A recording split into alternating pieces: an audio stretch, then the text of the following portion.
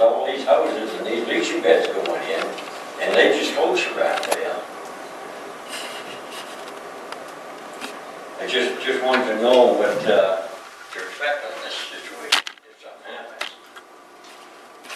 The great where I live, the water's not the greatest. I've got four wells on my property. Where I got something that would fit that we could even wash up in. And it's something to look at because someday down the road here that the contamination is gonna hit everybody. It's gonna be a big problem. I can see it coming because the quality of stuff, the last sixty years that I've been doing it, it's gone downhill. The water table's dropping and your bad water's getting to the good water. This is what I've run across. And about everybody I know has a filter system in the house.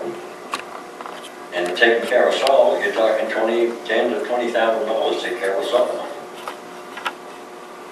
Up there, there's no salt I know of, but down where I am, on the home road, you've got salt around there.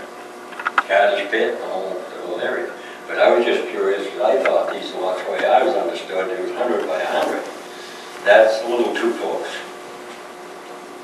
Even a hundred foot wide ain't too much for a house to be sitting in there.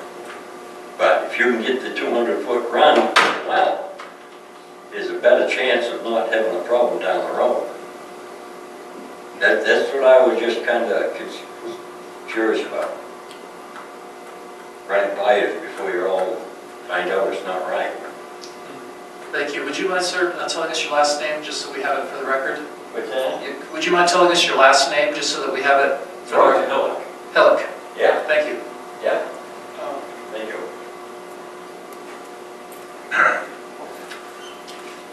Anyone else? All right, well, thank you very much, and uh, we will turn the board down. Rick, do you want to Yeah, um, pick up on that? sure, I recall a study done by, I thought it was done by Hillock. Uh, It was a different hillock. And then Oh, we- we that's also had the uh, state GIS uh, results of wells in the surrounding area as an exhibit. And uh, we satisfied that requirement for the board at that point. Yeah, I, I did look over that initial report from from Hillock. and then He did my well, so.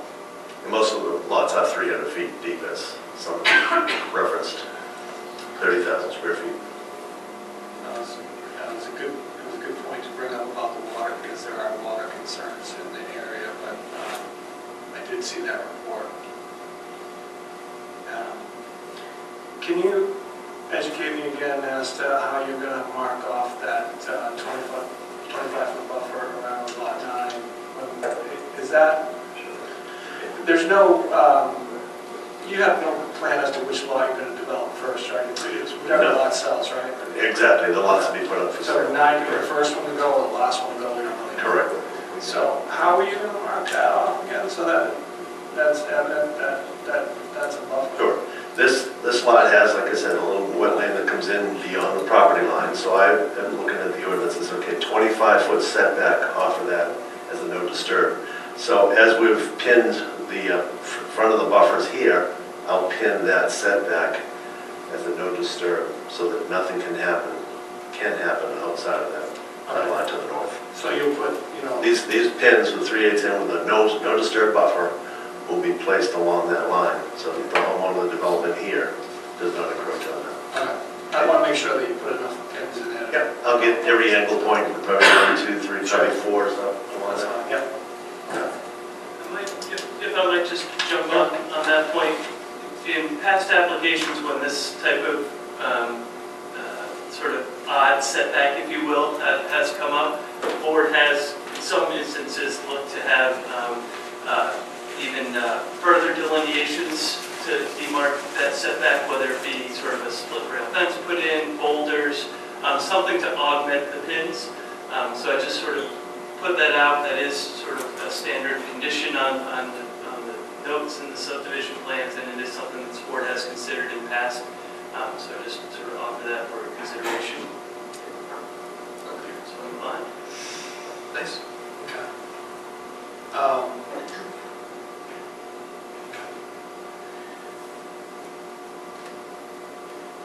Yeah, I don't, other, I think I've asked all my questions in the past, so I noticed um, the the information you provided was adequate to answer the questions I had. other than That one. So, good. Thanks, Rick. Rachel? Yeah, um, I'm the liaison of the board to the uh, Conservation Commission, and after uh, one of the prior meetings, when we, we talked about the issues of wells out in, in western Scarborough, uh, and the problems with water purity and just simply getting water in some cases, I brought that to the Con- Conservation Commission, and right now the commission is looking at what its work plan is going to be for the next couple of years.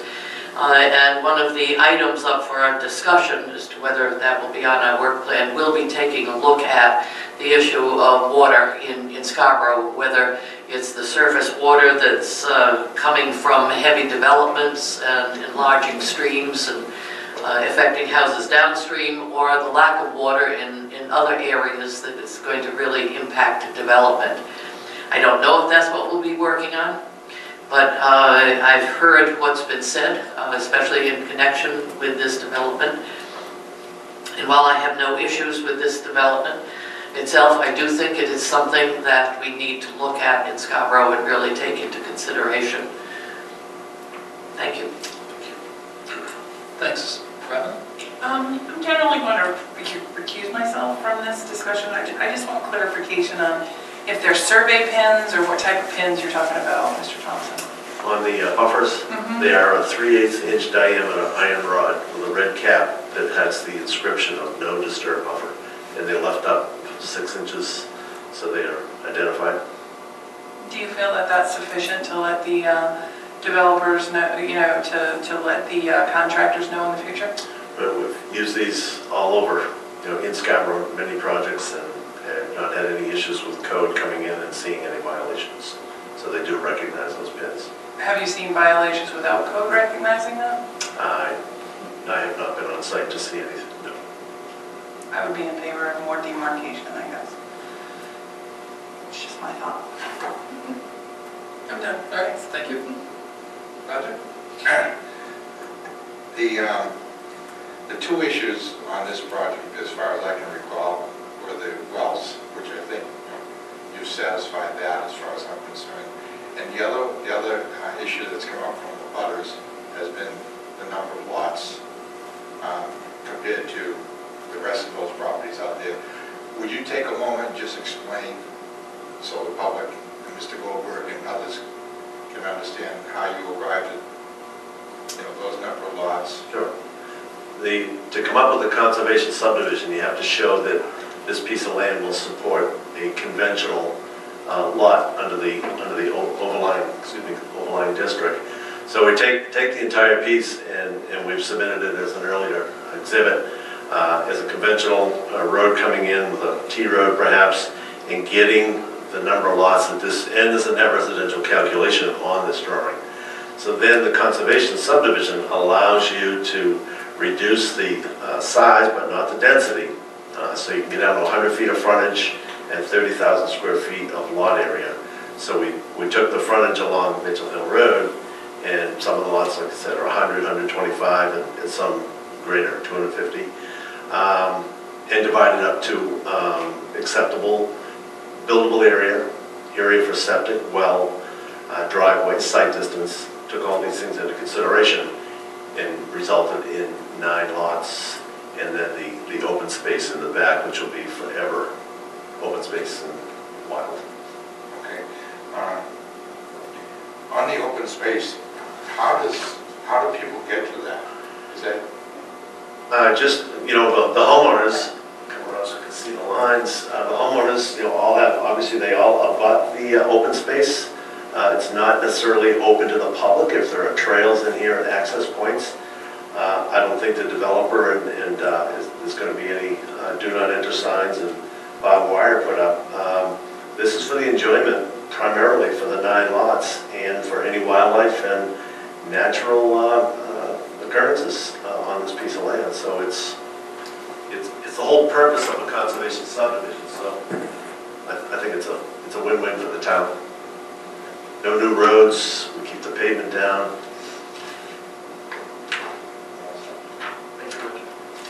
Um, Since it seems to be a point of some discussion, I put on the spot about the, uh, the the form demarcation of the no disturb buffer line? It's been suggested the board consider something beyond just the pins. No, I can't put you on the spot, or no, you don't? Can you? Whatever Jay says is now. The the question is, I think, is, are you in favor of, do you think the red pins are adequate, or should there uh, be additional demarcations such as, again, I think, Older if- I think traffic if this, systems. if this standard and have been used, I don't have a problem. Corey? I'm sorry. Yeah, I, I didn't uh, address that in my comments. I would be in favor of additional uh, markings, whether it's a split ra- rail fence or uh, boulders or, or something, but something a little uh, clearer than, than simply the, the red caps. Okay, thank you. Appreciate that. Susan? I'm feels as if additional um, um, delineation is important. We've been doing these um, conservation subdivisions for quite some time, and it all works very well as long as the initial owners stay on that land.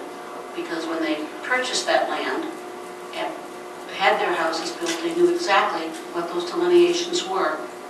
But somehow or another, when it starts changing hands and all you have is a little post out there with a red cap on the top, and maybe they didn't even get told when they purchased the house after all, you know, you can't do anything beyond that point. So split rail fence or boulders, or there's a- any number of things that have been done by developments in Scarborough, I think it's very important. You're not supposed to go out there and dig in the wetlands, you're not supposed to go out there and plant things in the wetlands, you're not supposed to go out there and take limbs off trees in those wetlands. They're supposed to be non-disturbed, you know, literally non-disturbed. So I would like to see the applicant come back with something that, you know, they don't have to provide it, the developer doesn't have to provide it, but the owner has to know that when they purchase this lot and start to develop it, they're going to have to put in a fence. And it should be the same for everybody because of the fact that these are all in line with each other. So I think that the um, delineation should be the same, just visually speaking. Um, That's one of my problems with this, by the way, is it- it just is so boring. But anyway, that is not against the ordinance. Boring is not written into our ordinances. Um, This whole idea of um, public access, I don't know this, this property. We didn't do any kind of a sidewalk on this. I don't know what this property looks like. I don't know if there's anywhere around it where there can be public access created. I mean, you're gonna, parking on Mitchell Hill Road and trying to find a way through all those houses to get to the wetland is going to work. But I just would like to, before we do anything permanent, granting approval, I'd like to know whether it's possible. If you have some comment to me right now, that's fine. Sure, I- as I mentioned a little while ago, you know, there, there is an area uh, along the brook here uh, to come into the property, but I think, you know, the conservation subdivision doesn't require it to be Correct. open to the public. That's correct. Um, We have nine homeowners, um, and, and again, the, the the frontage along the uh, Mitchell Hill Road here, and as I indicated, I don't think, you know, as long as somebody was uh, respectful to the property, um, if I lived there, I don't think I'd be opposed to if somebody went out uh, cross-country skiing or, or enjoying the land. Okay, I um, think that somehow that needs to be in, uh, in the actual, it needs to be written down. It needs to be said that the public can use this property as long as they don't do A, B, C, and D. I don't think it's necessary to provide parking. Uh, the- I I should know the answer to this, so I apologize. Um, The homeowners association, there'll be one, That's correct, yes. and they will own this open space. That's correct. Okay. Manage it, manage it and own it. yeah. That's what I thought. So somehow, when the paperwork is drawn up, I think it needs to be very clear that it is open not just to the homeowners.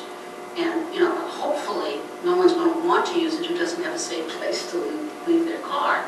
But neighbors, people around, especially if they're already using it for some sort of um, um, recreation, I would like them to feel as if they're welcome to do that. And we, our, our latest revision or amendment that was submitted to Jay on the open space talked about, excuse me, the homeowners association talked about open space. So we can take it if we need to, to tweak that a little bit to, to recognize what your concerns are. As far as, Mr. Chair, if I could mention on the uh, additional uh, demarcation, um, you know, fences are great when they first go up and then they, uh, I've got one on my property and it, it gets old and falling down. We'd really rather look at uh, boulders if we could. Boulders are Yeah, along, along that line and, and and make it, make it consistent and, I have no problem with that. That- I If I'm on my way to trim a tree and I fall over a boulder, I might say, you know, why is that boulder there? it's just more natural than, Yeah, than than that's a fine. fence. So we- That's we- fine with me. Would be agreeable to Yeah, that. I don't have any problems with that. Thank you. Basically, I think I'm ready to say this is okay. I would like to just request that the Conservation Commission hurry up and make establishing, Lots of luck. and make establishing, um, you know, what's happening with our water. We've had a bunch of questions come up as a result of this development, things that I didn't know were problems. So I want to thank the public for coming in and bringing our attention to this because, hello, I'm just saying thank you for coming and telling us again that this is a um, a problematic area and that we need to look at it very carefully. So I'm just asking the Conservation Commission to, to, um, you know, as much as possible, and this might be a good opportunity to use this development to say, this is the kind of thing we're looking, looking at in town right now. Other than that, I don't have any other things, any other questions. Thanks, Susan. And uh, just picking up on that before I lose my train of thought, I think, it- and you've made similar comments in the past, Susan, that, you know, we are in the midst of updating the comprehensive plan for the town. And that includes, you know, it's, it's not just how is Scarborough going to grow, it's also, it also takes into account our natural resources and things like water and, and other forms of natural resources and infrastructure. So I think that's that. something that, and the Conservation uh, Commission has been uh, in that loop as well, and others have been, so I think that's something we can incorporate into that. We appreciate that feedback. Um, Also, uh, up on the discussion on the the demarcation, um, we're going to propose uh, uh, an an additional condition to the draft motion that we have here for our consideration that would uh, sort of leave it to the discretion of the, of staff working with the applicant to determine what makes the most sense. We, we don't want to prescribe any specific fencing or anything like that. And as has been discussed, it is something that's been done in a lot of these projects in the past. Um, Appreciate Roger asking the question about um, the, you know, how conservation subdivision, how that works, and I think we, we've seen these a lot, but um, I think it's good to remind ourselves and the public sometimes sort of how we get to these layouts at times, and sometimes it might seem counterintuitive, particularly when you're in an area that, where you haven't seen smaller lots maybe, um, or a lot of development, but this is something that is absolutely uh, permitted under the, under the ordinance, and it has some benefits to it. Um, Beyond that, I, I think we've covered everything, I appreciate the walkthrough um, on the, um, on the staff comments. And um, with that, unless there are any further questions or, or discussion from the board, I will uh, put a motion forward. Uh, I move to approve the project titled Mitchell Hill Estates proposed by Five Star Holdings LLC as depicted on the plan set prepared by BH2M dated April 6, 2018, with the following findings and conditions. Findings as stated.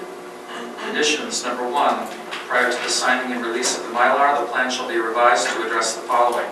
A, revisions to Plan Note 35 as stated in the staff comments memo dated April 23, 2018. B, a plan note that identifies the proposed widths of the no disturb stormwater buffer for Lot 6. And condition 1C, this is the new one, demonstrate additional demarcation for the 25-foot side yard setback on Lot 9, as well as the no disturb buffer along the rear of lots 1 to 9. Uh, We did that one on the fly, so I don't know if there are any questions about that. Number two, prior to the release of the attested final subdivision plan to the applicant for recording at the Cumberland County Registry Registry of Deeds, the applicant shall A, pay the traffic impact fees of $5,485.19. B, provide a written deed restriction for the no disturb stormwater buffers for each lot. C, revise the homeowners association agreement to include language that indicates that the open space will be managed by the homeowners association. And condition number three, a recreation contribution in the amount of $250 shall be paid on a lot-by-lot basis prior to the issuance of a building permit. Second. I have a second. And just as a housekeeping note, Robin, are you you're recusing, recusing yourself, so we're, we'll have a vote on this. Any, Can can I just ask a clarifying question, because it'll be coming in front of us, staff, um, with building permits? Um, And the placement of those boulders and along the back of one through nine, is that the limit of disturbance? Or are they gonna be trying to place boulders in places beyond where the clearing limits are designated? Good question. I believe the purpose for the boulders are to reinforce the um, identification of those buffer pins on the buildable side of the lot. But like a pin, you can go into the woods and put a pin and say that's as far as we've cleared. I was wondering if initially, are all of those lots going to be disturbed all the way up to all those pins, and then it's easy? But it's not, I guess that was. Yeah, I- I'm not sure what'll happen, but I think that the density, there's a lot of field on some of those um, uh, lots already. I think it'll be easy enough to, to get, Okay, to get that done. Thank you. any other discussion? All in favor? That's unanimous. Thank you.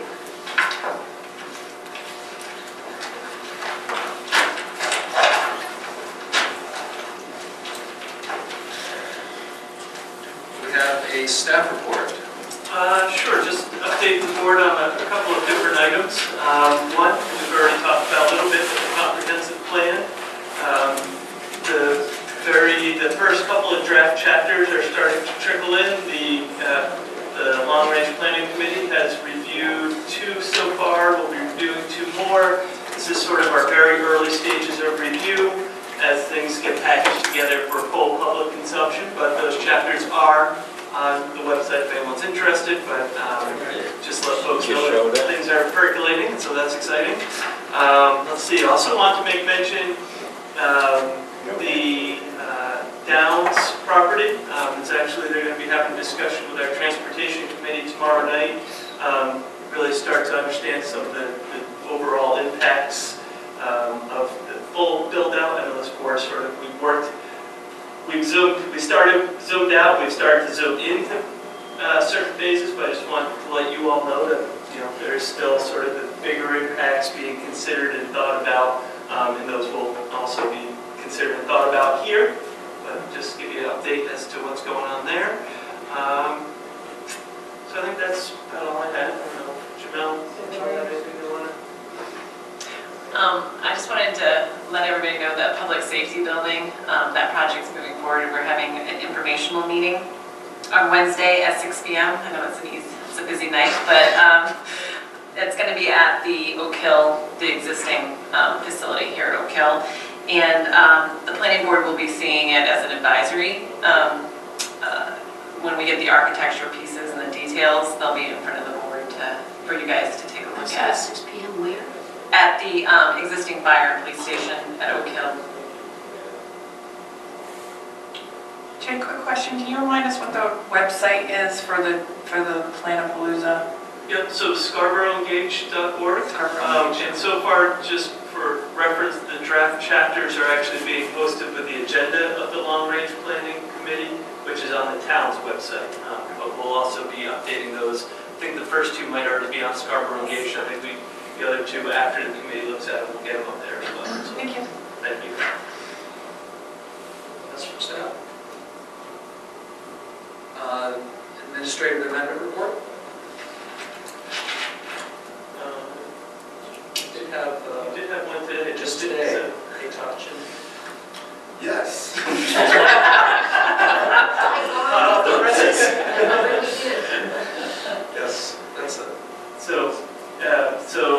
administrative approval for a small storage shed, equipment shed uh, at the top, uh, out on Main Road. Certainly didn't see the rest of the level of something we need to have on our agenda. Thank you. Any planning board correspondence? I will just let you know, we have continued to receive lots of uh, good emails from folks regarding the uh, Verizon tower, so we are compiling those and be sharing those with you when that comes back before this board. Um, You know, that's dependent on when they resubmit, so. um, So, so seg- to planning board comments, and I don't know if this is what you're about to ask about, Roger, but uh, Yes, it is. the, the, uh, the, they didn't, they were unable to do a balloon float, but they did raise a crane out. Um, Can you just briefly remind us sort of what happens from there in terms of how they do the visual impact analysis? and- Sure, sure. Um, So essentially what they did is they raised that, as you just mentioned, sort of a man structure crane up to 100 feet. And then what they do is drive around the town from all the public roads and public spaces and take photos uh, so that they can then, as part of a visual impact analysis, put together the, the photos that they've taken and they sort of show you where they were from, and and what you see from particular angles. And then they, there's one picture that'll show the tower and then presumably another, I'm sorry, that will show the crane. Then another picture that would sort of photo simulate what a tower might look like. Um, And then in past applications, and presumably in this application, the photo uh, simulate what a, what a monopole might look like. So the board could get a sense of, um, uh, of what it would look like from various locations. Thank you. Roger?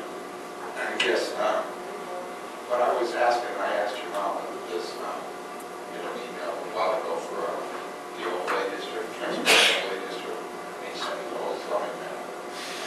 And I remember when we were discussing the AT&T facility at the exposure. Sure. As well as the uh, Verizon one. that I recall seeing like a bubble map, where the overlay district were sort of a bubble type Um, I, was that part of their application, you mean? Because the, on the, on the zoning map, are the overlay districts are sort of, you know, big bubbles, if you will, or polygons that are laid out, so I guess are you, I'm not entirely sure which, It was just, it was a map of Scarborough, and I think there were like five overlay districts or something. uh, there's five or six, and And it showed it was like in a bubble form, you know. Did you recall seeing that? I'm imagining this. It's vaguely familiar with their I know basically the, the sort of west, west side of Scarborough is, okay, Yeah. it is simplified, all right, we can work on that. Uh, I, I recall seeing it, Okay. so it must be close enough. I, I was too long ago, I wasn't, I thought it was a mistake. It was nice, you know, you could see where the areas were. See what we can create for you. Any other planning board comments? motion to adjourn. Move to adjourn. Second. All in favor? Thank you.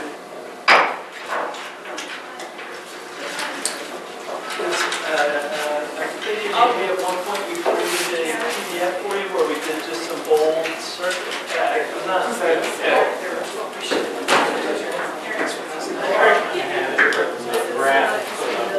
Yes, I saw that. Yep. All uh, right.